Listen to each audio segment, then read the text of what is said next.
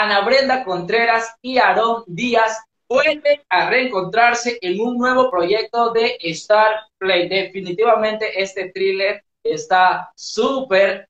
llamativo porque como tú lo comentabas al inicio del programa, sin duda nos va a dejar así, súper pegados al televisor porque la historia está buenaza, historias que pasan en la vida real y sobre todo en una sociedad como la mexicana.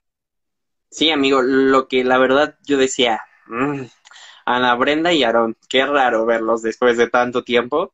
pero ahora verlos en un modo policíaco y como lo comentamos, comentábamos al principio, resolver el misterio de quién está asesinando a tantas personas de una manera como tipo sacrificio azteca, eso, o sea, es brutal, porque es montarnos a un México actual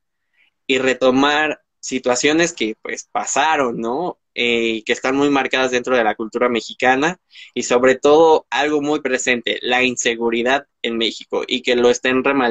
recalcando, perdón, dentro de esta plataforma, pues va a ser brutal.